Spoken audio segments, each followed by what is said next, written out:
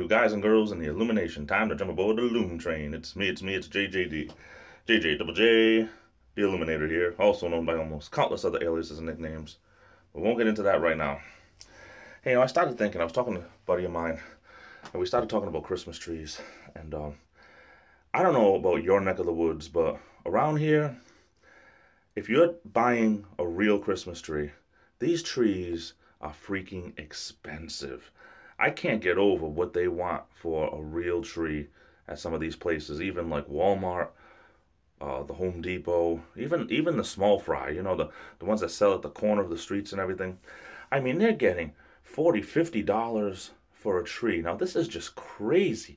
In my opinion, you're going to spend $50 or more for a real tree. It's almost like, what are they thinking? I don't understand how they think and, and people pay it, but I mean, I, I just don't understand it.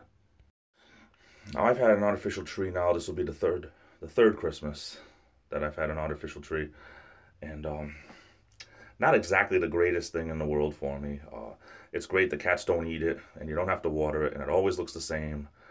But I miss the smell of a real tree. And I know you can get candles that smell like pine.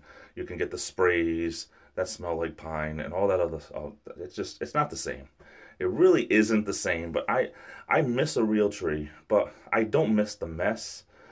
Around here it's like the trees come from canada and by the time you buy them they're already dead.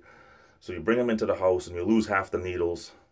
You set it up you lose the other half of the needles. So you've got a charlie brown tree to start out with and it's going to be up for three four weeks.